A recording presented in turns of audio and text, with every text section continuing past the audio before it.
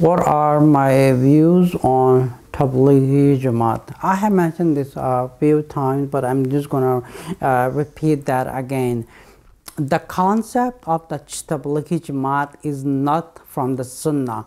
Now I'm going to prove that in evidence uh, from the evidence on the, from the history if that is being from the sun, the way of Sunnah or is it the way of the latest scholars came from India. How does the Tablighi Jamaat started? Uh, the Tablighi Jamaat started uh, I'm just going to go back a little bit more back so you can understand how does the whole thing started. When there was um, British rulers in, in India, uh, they were trying to corrupt everyone into the non-Islamic uh, things. There was so there was a great uh, some Maulanas that time, and uh, their names were like Qasim Nanotvi and uh, Rashid Gangohi and Maulana Yaqub, and they were the lineage from the. Um, there was a great scholar in their lineage. It was being called. He was called.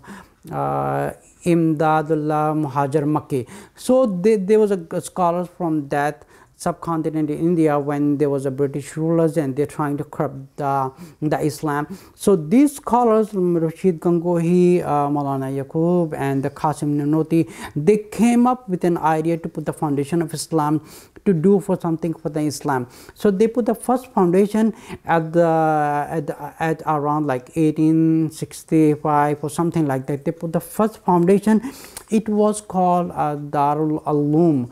It was being uh, based in the Deoband, India and that's where they put the foundation of the so they set up something totally brand new uh, system of education they started from india in that line, Darul Uloom, they used to have a student whose name was Maulana Ilyas in the early 19th century. He came up with an idea that he has a dream to do make a deen in the easy way so he can teach and he can bring other Muslims together to work on a good virtues and uh, come with uh, come up with an idea. So he come up with like six points and the Darul Uloom they come up with a system of education where the first lesson they come uh, to teach the Muslim is the six kalimas uh, which I have already mentioned into my other lectures and then into the subcategory of Darul Uloom. Now this category was for the Hanafi scholars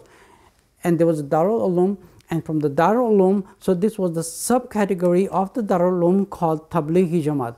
So he, it was founded by Maulana Ilyas who came up with an idea of six points.